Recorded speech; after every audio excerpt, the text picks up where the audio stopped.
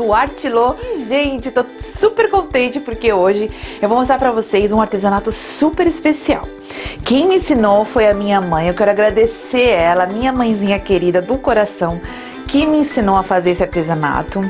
E também quero agradecer a dona Norma, que é amiga da minha mãe muito querida. E eu gosto muito da Dona Norma. Dona Norma me ajudou demais em só me dizer qual que era o nome do artesanato. Gente, esse artesanato se chama biquinho. Talvez tenha outros nomes, né? Conhecido com outros nomes, mas ela me falou que se chama biquinho. Gente, eu não fazia a menor ideia, né? E eu achei o máximo, porque eu ia ficar louca sem saber o que, que eu tava fazendo. Então, assim, eu quero agradecer do, do fundo do meu coração, dona Norma. Um beijo para a senhora. Você pode fazer com esse artesanato ah, toalhinhas ou, ou, alguma decoração tipo um panô ou é, é, bolsinhas, itens pequenos, né? Porque ele, é, dependendo do tecido que você usa, fica um pouquinho pesado. Então, assim, um detalhe, uma coisa assim, é muito bonito, muito bonito mesmo. Gente, é uma obra de arte. Gente, vamos começar. O primeiro passo é dobrar todos os tecidos que a gente vai usar. Então, eu tenho aqui um quadrado, vou ensinar pra vocês como que eu faço pra deixar aqueles...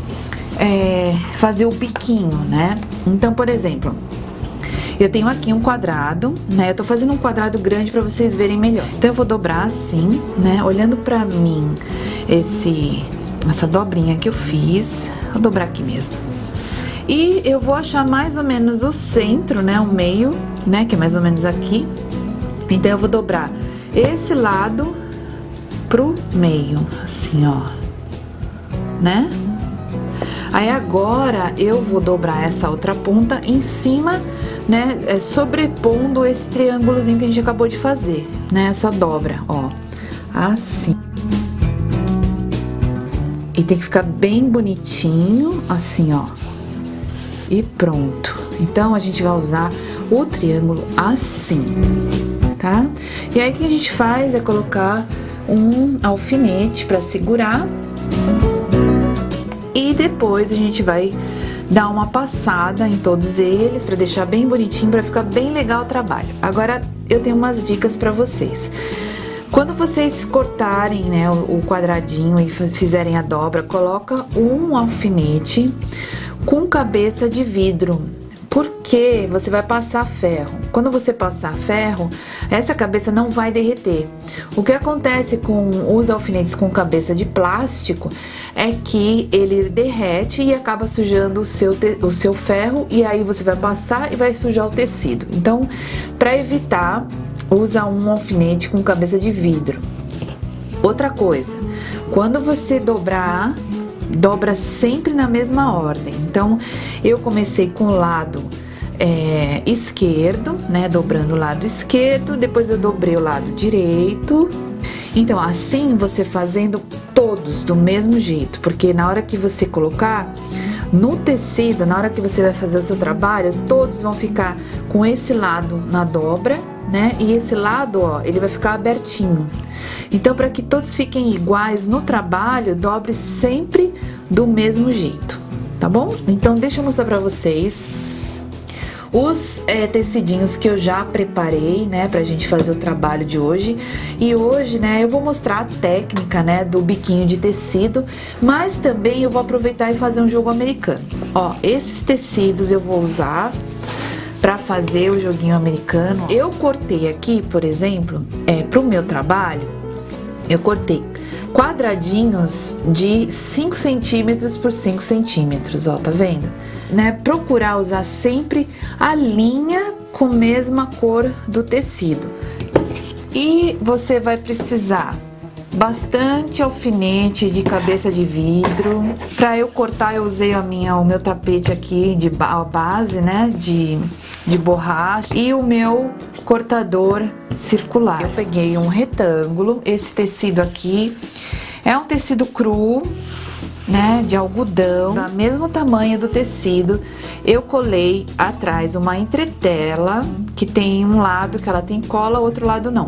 Então eu passei a entretela, né, no tecido. Isso aqui é só para dar mais estabilidade, senão fica muito mole. Vai precisar também de um tecido para fazer a parte de trás. Então o que você vai fazer? Você vai achar o centro do tecido. Então para achar fácil, você é, dobra e dobra de novo, né? Dá uma, faz uma marquinha assim só para você não se perder, né? E aqui é o centro do, do tecido. Então nós temos assim os triângulos, né? Então a gente vai começar a colocar o biquinho para dentro. Eu gosto de fazer assim. Então você pega um, um alfinete e coloca aqui. Vai aqui agora, põe assim. Põe assim o mais certinho possível então a quantidade vai depender de como você dobrou o seu tecido. Às vezes você dá um pouquinho mais, às vezes você dá um pouquinho menos, né? Então, para não ficar muito distante um do outro, às vezes você tem que abrir ele um pouquinho e refazer a dobra, só para dar aquela ajeitadinha. Mas ó, tá vendo? Assim, né? A gente vai alinhavar para não deixar ele solto, para ele ficar mais seguro ainda. Vai, depois a gente tira, só pra ter certeza. Isso no começo, depois que você pega a prática, você não precisa alinhavar. Então, gente, ó, já tô aqui na máquina, assim, da ponta até um centímetro e meio, assim, mais ou menos, tudo em volta dessa estrelinha. Eu não posso costurar muito embaixo, porque se eu costurar embaixo, o triângulozinho pode se desfazer. Eu já costurei em volta, mal dá pra ver e é assim que é bom porque é, você vai ver a costura, mas é, a costura ela não é o principal. O principal é o efeito que vai dar o biquinho todo junto. Então, agora a gente pode tirar o alinhavo. Aí agora a gente vai para a segunda camada. E aí você vai começar a próxima camada aqui, ó, na divisão dos dois. E eu coloco sempre assim. E a gente vai costurar aqui, ó, né? Então tem que aparecer o biquinho. E aí agora o próximo você vai sobrepor. Sobrepõe, por daqui por, por diante você vai sobrepor um triângulo no outro. Tem que sempre esconder a parte feia, que é a parte que não tem acabamento, ó. Essa partezinha aqui, a base, né? Não tem acabamento, então a gente tem que ir escondendo. O importante é você sempre olhar de longe para ver se tá bom, se você precisa ajeitar, porque é que nem obra de arte, você tem que ver de longe, não pode ver de muito perto não, você não enxerga. Então, gente, ó, eu aqui de novo vou pôr a minha a agulha da máquina na mesma distância que eu pus da vez anterior. Então, ó, eu vou costurar tudo em volta de novo e vou de volta lá para a mesa para colocar mais a terceira camada. Então, a gente vai trabalhando assim até a gente completar todo esse, esse retângulo. Conhecendo o trabalho é mais difícil. Depois você vai pegando o jeito e fica mais fácil mesmo de fazer. Então, mesma coisa, o mesmo processo. Gente, agora que eu tô assim, ó, não, eu esqueci de falar, né, um detalhe. Eu dei a volta, né, agora eu vou por o último, né. Então, o último a gente vai sempre assim, o seguinte sempre sobrepõe em cima do, do último, né. Então, o que que eu vou fazer? Eu vou colocar ele, né, em cima do último, né, e embaixo do primeiro, ó, tá vendo? Pra ele manter a sequência, senão vai ficar esquisito, ó, tá vendo?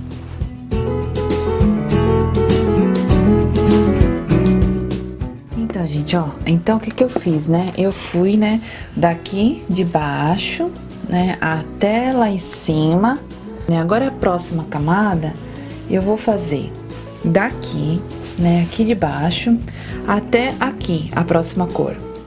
E com a mesma cor, eu vou fazer aqui até aqui, Aí depois eu vou fazer uma outra cor, faço aqui, ah, com a mesma cor eu faço aqui.